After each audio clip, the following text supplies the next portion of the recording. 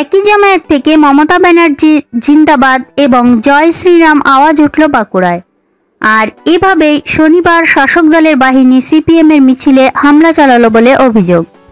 এদিন সকালে বাঁকুড়া সদরে মহকুমা শাসকের দপ্তরে সিপিএম বিধায়ক সুজন চক্রবর্তীর নেতৃত্বে মনোনয়নপত্র জমা দিতে গিয়েছিলেন দলের প্রার্থী ও কর্মীরা।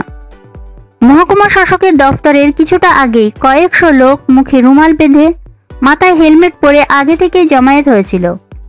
অভিযোগ, সিপিএমের প্রার্থী ও কর্মীরা মহকুমা শাসকের দপ্তরে ঢুকতে গেলে বাধা দেওয়া হয়। শুধু তাই নয়, জয় শ্রীরাম আওয়াজ তুলে সিপিএমের লোকজনদের ঘিরে ধরে। তারপরই শুরু হয় রড লাঠি দিয়ে বিধারক মারধর।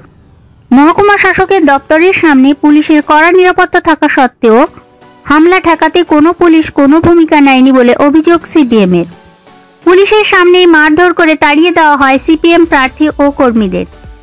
সিপিএম বিধায়ক সুজন চক্রবর্তী বলেন, যেভাবে আমাদের আটকানো হলো, যেভাবে মারধর করে তাড়িয়ে দেওয়া হলো পুলিশের সামনে, তাতে দেখে মনে হচ্ছে ওরাই পুলিশকে নিয়ন্ত্রণ করছে, পুলিশ ওদের নয়।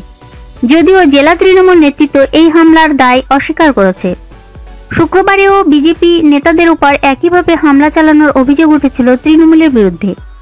মহকুমা শাসকের দপ্তরে দলের রাজ্য সাধারণ সম্পাদক রাজু বন্দ্যোপাধ্যায় এবং সংগঠন সম্পাদক শ্যামাপদ মণ্ডলেরা মনোনয়ন নিয়ে সার্বিক পরিস্থিতি জানাতে গিয়েছিলেন।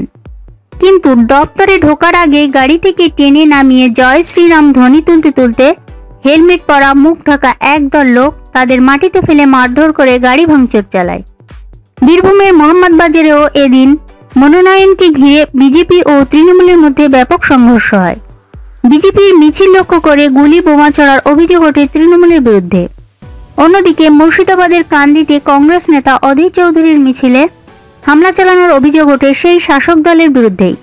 দুর্গাপুরে সিপিএমকে মনোনয়ন জমা দিতে দেওয়া হয়নি বলে অভিযোগ ওঠে তৃণমূলের বিরুদ্ধে।